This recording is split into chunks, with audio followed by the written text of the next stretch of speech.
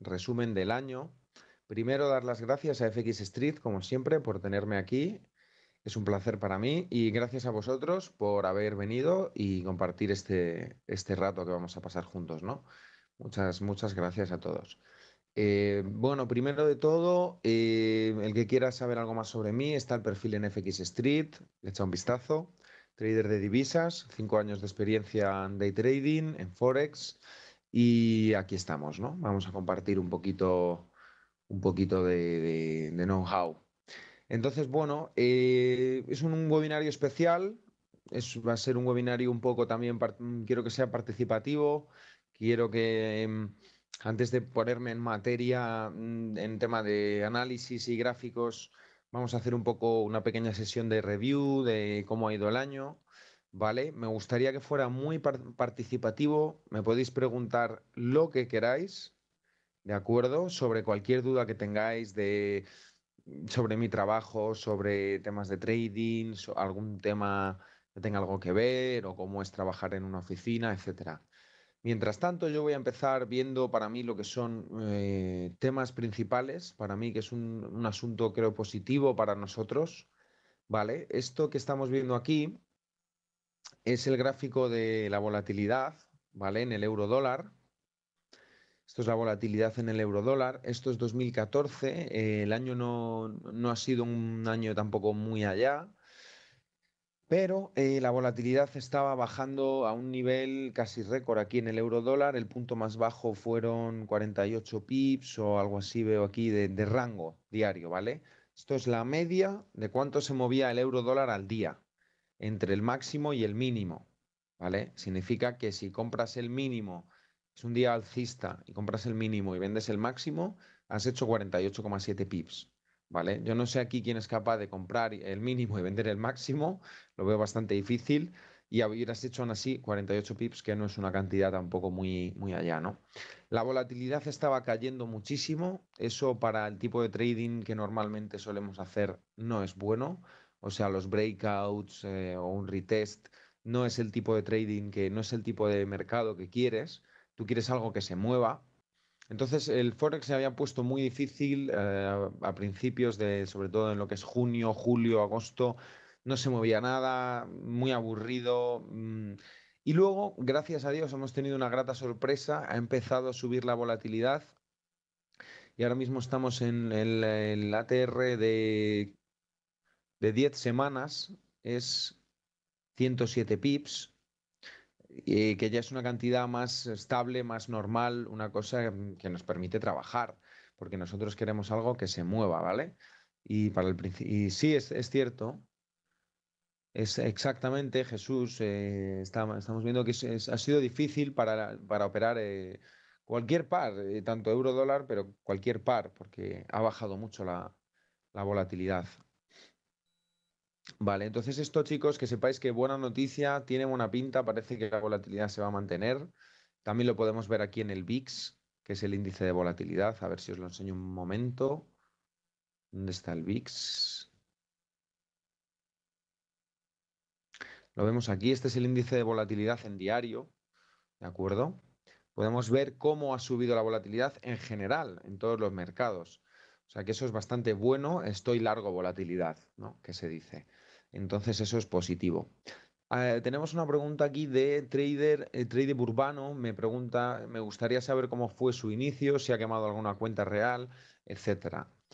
Pues bueno, el inicio fue, pues como todos, ¿no? Eh, esto es piezas y es como una película china, sin, sin subtítulos, subtítulos, no te enteras de nada.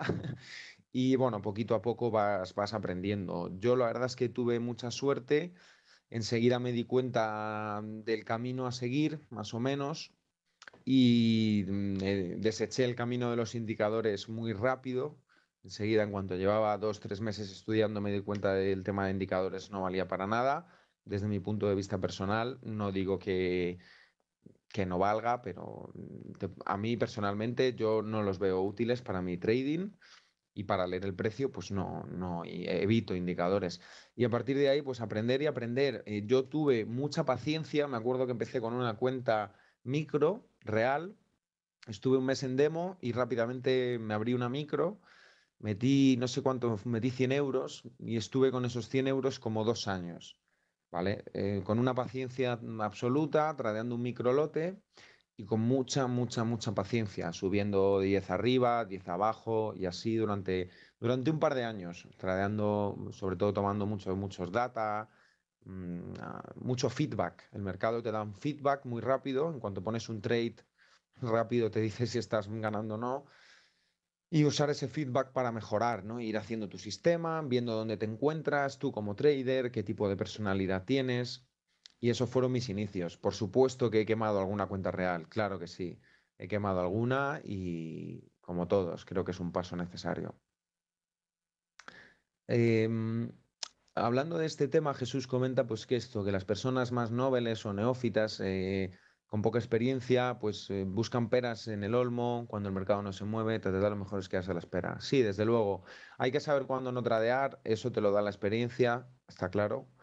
Y bueno, pues eh, lo de peras, eh, buscar eh, peras en los olmos, pues con el tema de los indicadores, por ejemplo, ¿no? La mentalidad del novato es pues un dinero rápido, un dinero fácil, dar el pelotazo y, y ya está, ¿no? Esa es un poco la mentalidad de, y esto no, no es así. Entonces hay que saber cuándo esperar. Yo conozco traders muy buenos que hacen el año en 3-4 meses.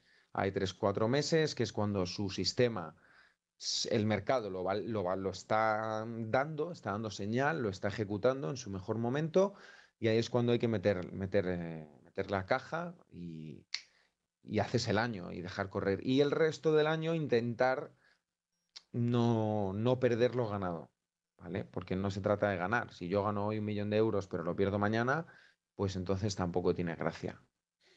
Así que eso es un poco, eso es un poco la opinión. Eh, después, pues bueno, cualquier pregunta que tengáis del tema personal también me parece que es algo, parece que no, pero es algo importante, porque creo que cómo vives tu vida es cómo vives el trading. Y pues yo tenía muchas dudas también cuando empecé y me encantaba freír a preguntas a la gente, ¿no? Entonces, bueno, vamos a empezar, si queréis, directamente. Vamos a hacer una pequeña revisión. Vamos a revisar este año con perspectiva. ¿De acuerdo? Desde un punto de vista más general, de todo el mercado en general. Esto es el SP500. Lleva unos días de venta. Eh, hay, oferta, se está encontrando oferta aquí. Mm, mi opinión pienso que es antes de Navidad, es un poco el eh, cobrar antes de Navidad, pero sí, sí es verdad que estaba muy extendido, estaba muy sobreextendido. Y, bueno, ha empezado a aparecer oferta unos días aquí. Así que bueno, al loro con el SP, todavía esto es semanal, indiscutiblemente estamos en tendencia alcista, eso no hay que negarlo, pero un ojito con los índices, porque además el año que viene es eh, año de elecciones, año 15, año eh, primer año de elecciones, eh, último año de elecciones, eh, o sea, es un año que suele, el backtesting dice que suele ser positivo, el SP todos los años que ha habido mm, election year ha acabado en positivo, podéis mirarlo, pero mm, yo tengo mis dudas, no lo sé el año que viene lo que va a hacer y es imposible saber, pero tengo mis dudas porque lo veo muy sobreextendido Veo que la oferta aparece rápido, en un par de días se pierden muchos días de trabajo alcista, en nada. Pero bueno, ya visteis la última vez, fue un poco una V, un reversal en V, el último sell-off que hubo aquí en la 1800 y enseguida se compró, hizo un rally espectacular. Pero eh, puede cambiar, ¿vale? Puede cambiar. Entonces, cuidado con los índices, están todos un poquito igual. Quizás el Russell 2000 lo veo un poco más débil, lo veo un poco más débil.